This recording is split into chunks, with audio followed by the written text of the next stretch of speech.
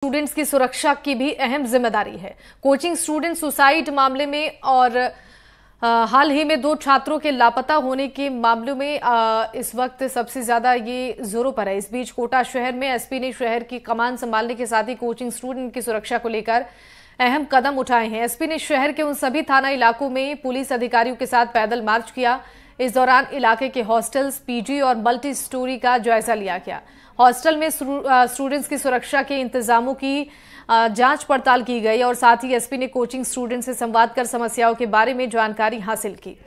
SP ने कहा कि वक्त वक्त पर इंतजामों की समीक्षा होगी और कई जगहों पर सीसीटीवी कैमरे लगाने, हॉस्टल स्टाफ और स्टूडेंट्स के साथ लगातार संवाद करने को लेकर भी इसे ज़रूरी बताया गया है। साथ ही उन्होंने किसी भी तरह की परेशानी होने पर बीट कांस्टेबल और तुरंत पुलिस को सूचना देने की भी बात कही है।